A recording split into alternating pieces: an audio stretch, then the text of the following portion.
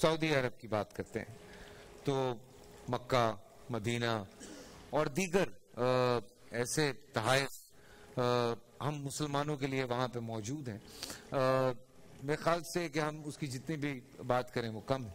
और हम सब अ, हमारा किबला जो है वो मक्के की तरफ़ है। हम सजदा उस तरफ़ करके, किबले की तरफ़ करके सजदा करते हैं, दुआएँ मांगते हैं।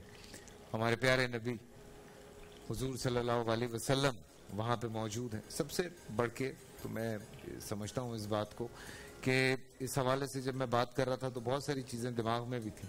लेकिन ये सारा सिलसिला एक तरफ़ पर आज जो डिस्कशन है बिकॉज़ ये आजकल डिस्कशन बहुत आम हुई हुई है। और जो बातें आजकल ज़्यादा हो रही हैं, हमने कोशिश की कि हम उन चीज़ों को लेकर सामने आए और हम अपने उलमाए कराम से उस बारे में ज़रूर डिस्कस करें।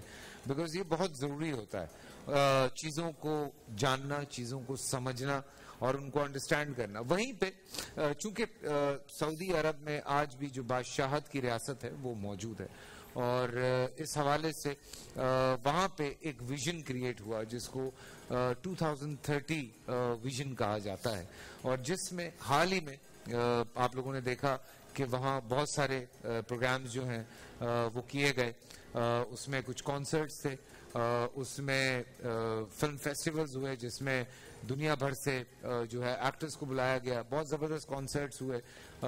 हॉलीवुड बॉलीवुड के बड़े बड़े जो सिंगर्स हैं उनको सऊदी अरब में बुला के वहाँ प्रोग्राम्स करवाए गए। असल में मसला सिर्फ़ ये है बल उनका ये कहना है कि आने वाले वक्त में चूँकि थोड़ा बहरान आ सकता है अ, तेल के कारोबार में तो वो सियाहत की तरफ़ ज़्यादा लाना चाह रहे हैं अपने इस मुल्क को। तो मैं अपने कराम से ये बात मैंने इसलिए शेयर करना ज़रूरी समझी क्योंकि एक तरफ़ चूँकि मेरे मेरे अल्लाह का घर वहाँ पर है मेरे नबी वहाँ पर हैं तो मैं इस बारे में बहुत सारी चीज़ें जानना चाहता था कि क्या वहाँ पे ये सब कुछ होना अ, सही है या गलत है या जो कुछ हो रहा है अ, जो कि सल्तनत उस्मानिया की अगर हम बात करते हैं तो वहाँ पे भी थोड़ा सा इस तरह का सिलसिला रहा कि क्लब्स भी हैं डिस्कोस भी हैं बार्स भी हैं, जहाँ शराब मिलती है।